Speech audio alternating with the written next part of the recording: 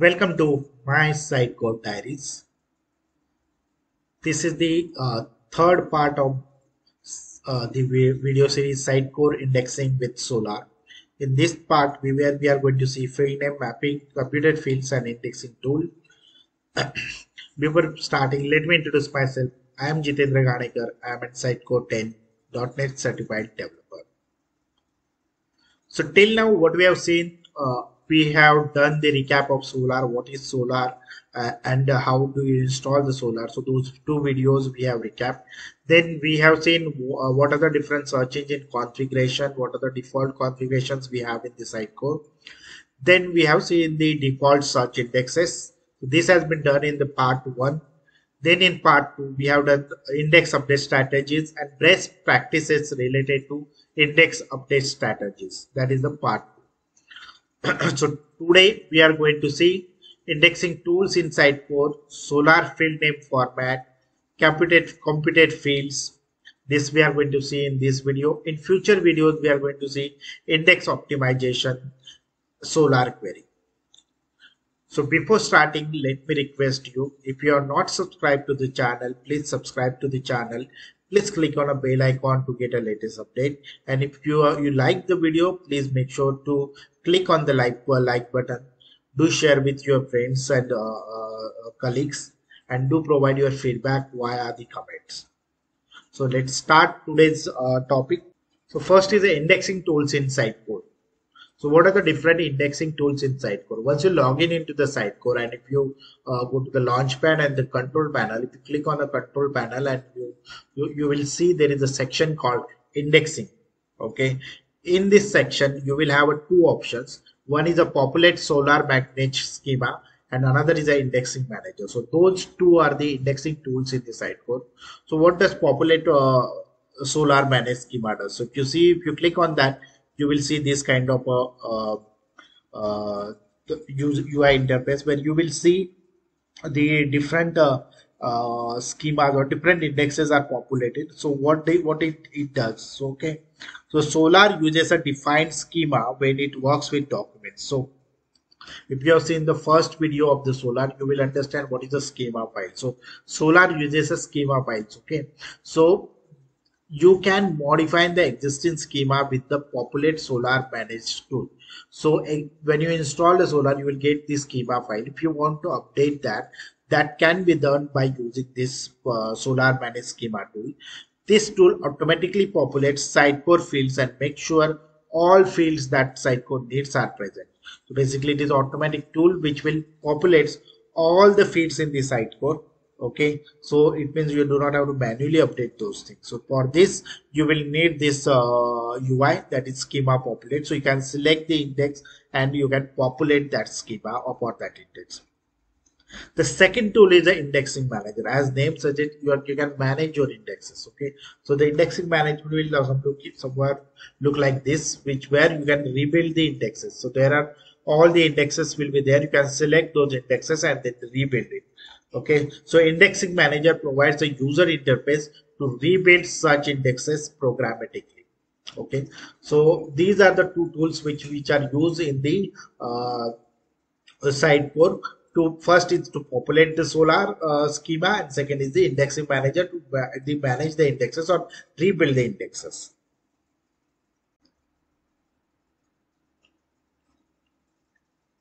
So now let's see uh, Solr field name. So when Sitecore sends an item to Solr for indexing, the item field must map to the Solr fields. So there are two. Uh, so you have a Solr and you have a uh, Sitecore. So Sitecore has their these own fields like uh, name, title. Those are the fields, and those corresponding Solr fields will be there. Okay, so you need to map this uh, the Solr and the Sitecore fields. It is practically it is not practically uh, it is not practical to manually match the large number of Sitecore fields to the Solr field. Thus it uses a dynamic fields concept. So you have a huge numbers of fields in the Sitecore okay? You have and to map those with the Solr fields manually it is very difficult to do. In fact it's not practical to do okay? So what the Solr does it uses the dynamic fields concept. Now what are the dynamic field concept? A dynamic field is just like a regular field except it has a name with a wildcard in it. So it actually uses the wildcards okay? So it uses the wildcard to for the naming. So you will have a name uh, some some wildcards are used. So depending on that your uh, dynamic fields will get generated so when you are indexing the documents, a field that does not match any explicit defined field can be matched with a dynamic field. So if there is a static like uh, static names are not getting matched, then it goes to the dynamic bind, the dynamic fields, and it matches with the pattern. Okay, whatever the expression or pattern which is provided, that is called as a dynamic fields concept in Solr.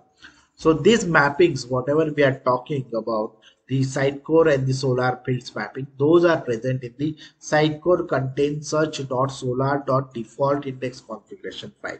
So if you see that file you will have something like this uh, uh, uh, configuration there where you will see the uh, batches. Let's take few example here okay? See this first thing type match type name is string. So string is matched to the system dot string. And the, what is the field name here? If you see there is an expression okay? Where you have a the zero that is a placeholder underscore s. So if there is a string and uh, the the name will be in this format okay? Where the first part is a field uh, placeholder and underscore s is a string okay? So all the string fields will get matched to the field name format okay. Similarly you have a text for text you have underscore t uh, then integer uh, underscore tl so similarly there are all the type matches uh, given the some specific format okay field name format. Okay so this is how this is actually using the field uh, dynamic field. So this is a dynamic field concept where you have a dynamic field. It is not statically given. So there are placeholders given where it will get replaced. The token will get replaced so let's take an example of a uh, field name mapping. Okay. So Sitecore has a field name with a name amount and field type is a number. Okay. So in the Sitecore, you have the uh, field which is name you are named it as amount and the field type is a number. Okay. You do not need to map this manually in the Solr. Now for the ma mapping it into the Solr, you do not have to do it manually. Why so? The Sitecore map the Sitecore number type field to the uh, Solr float type field in the name. Add field by the type name. So add field by field type name. This is the section, okay, where you will have the mapping. Okay, here it is mapped to the number is mapped as return return type is float. Okay, so you have a mapping here. This is a type. Okay, now this is you see field type name number. So what is number? How number is mapped? Okay. So sitecore replace the zeroth part of the sitecore amount field name to become the Solr amount field name. So if you see here okay. This is your field type number okay. And if your field type is a, a number and the return type is a float okay. So it will map as a field name format will be 0 underscore tf okay it's a float number. Okay so side what the Sitecore does this token zero whatever you see here the zero okay that uh, will get replaced by the field name. Okay so it will become amount name. Now Sitecore index the site uh, Sitecore number type field name amount as a Solr dynamic float type field name amount tf so now in Sitecore you have a amount whereas in the Solr you will amount you will have amount underscore tf so that is how it is mapped. Okay? So let's revise once again. So say assume that you have a Sitecore field name amount okay in your field and its field type is a number okay? And there is a configuration which is defined if you have a field type is a number and return type is a float how it should behave. Okay? The Sitecore maps this name. So there is another uh, uh, section which is called as the add type match where it will define that if you are there is a uh, dynamic field which is defined where you have a placeholder underscore tf okay? So now whatever where they you add the n number of fields with number and the return type float then it will map it the zero underscore tf now what is zero? Zero is a placeholder of that field. So amount will become amount underscore tf okay if you use any other field that will become that field underscore tf okay and now the mapping will be amount in your Sitecore which is in Solr it will be amount underscore tm when Sitecore looks for a field name it tries to match the exact name okay? So when it wants to any uh, field name it will try to match with the exact name. If there is no exact match then Sitecore removes any culture or suffix and Solr dynamic field suffixes and tries again okay? So this is how your fields are getting mapped with Solr and the site. Now let us see computed fields. What is computed fields Computed fields are fields which are stored calculated information while Sitecore indexes your items. It basically stores the calculated or computed values in the index which physically does not exist in the Sitecore. So there are some some fields or some uh, logic which we want to implement but that data is not stored in the Sitecore as a field okay like if you get an example like you have a uh, category and products okay? So you might have a you might not uh, you have a category as a parent name but pa uh, parent folder and inside that you might have products okay? But there will not be specific field which will specify what is the uh, category of the product. Uh, it is actually a parent item but in the field itself it is not provided. And if you want to do some manipulation or some searching you want to do with which category products are there then that field there is no field in the Solr okay? So in that case you can use a computed field. You can create a computed field which is not actually stored physically in the Sitecore it is a calculated or a logical field which is there in the indexes okay? So that is what the computed fields are and which is these are very important okay? So how does you create the uh, computed fields okay. The step one is to create a class that implements the uh, interface which is mentioned as the a sitecore.content content search dot computed fields dot i computed index field. So i computed index field is the interface which you need to implement uh, uh, in the class. What does the step 2 does? It implements the simple string properties name field name and return type so it will have two properties one is a field name and another is a return type the field name string is the name the field uses in the index. So field name is the basically the name of your index. Okay. And the return type the string refers to the Solr data type that the Sitecore field type is mapped with the type matches. Okay. So it is a mapping of a type. What is Solr and what is the what is the field type in the Solr and what is the field type in the Sitecore.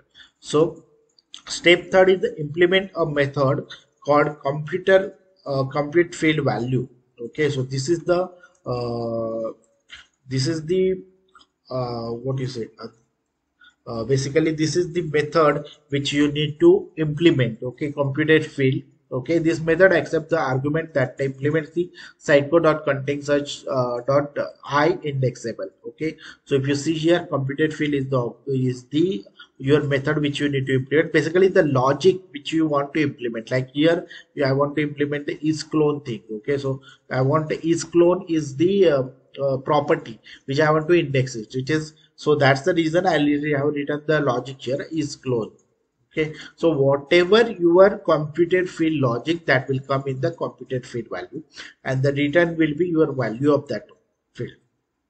Okay. So this is how you will implement the i computed index field.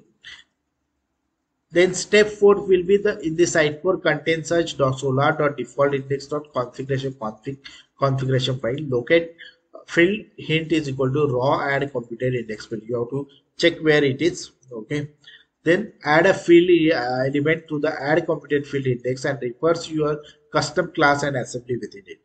Okay. Then rebuild your search indexes. Okay. So basically you will write a patch file uh, where you will replace, you will add the field.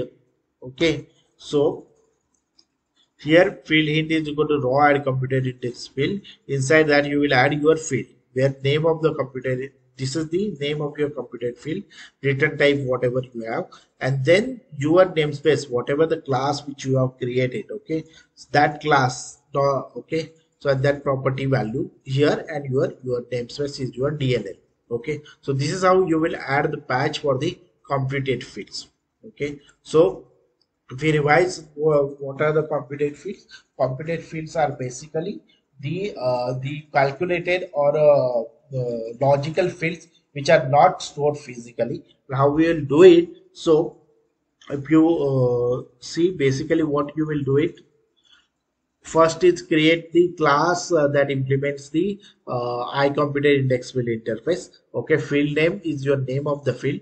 Return type is actually your return type that you uh, the your site code then whatever logic you want to uh, implement that you will implement in the computed field value. And then uh, you have to write a patch config where you will add that field okay? The name of your computer field with your logical where you have added the class right? The, that logical class file here and then the your namespace. So that is how you will add the computed fields. Okay? So this is where you will see here what are the things which you need to do for the adding the patch file patch configuration file? So let's summarize today's topic. We are done today. Uh, so first uh, we have seen the index tools okay where uh, we have seen two kind of a tools. Uh, one is for populating the schema. Second is the indexing manager where you can use the for the indexing okay then uh, we have seen how the fields are getting mapped between Solr and the sitecore okay? So it is it is use a dynamic field concept. You do not have to match every field with each other, uh, but it is pattern based okay? Where the token get replaced by your sitecore field. And say that depending on that the name which you have suggested in that configuration you can it is used. And the third thing which we have seen is the computed field. How we can create a computed field you can in, uh, inherit the class mentioned class and then you write your logic in the computed fit class uh, method. Uh, then you have to patch that configuration in your uh, config file so these are the three topics which we have seen today okay? So that's it. We are done for today. Uh, if you if you you are watching this video first time please do not forget to subscribe to the channel and click on a bell icon to get the latest notification. If you like the video please do click on a like button to share it with your friends and colleagues and do provide your feedback via the comment. This is the series of the sitecore indexing concept. Okay there are total five videos this is the third video. I will be providing the uh, the playlist uh, link in the description and the comment. Please go if you are you watch this first uh, directly this video i will suggest you to start it from the first video. That will give the continuity and understanding also. So please watch the series and let me know uh, if you like like this uh, like by liking my videos and do provide your feedback via the comment. Don't forget to subscribe to the channel. Thank you. Thanks for watching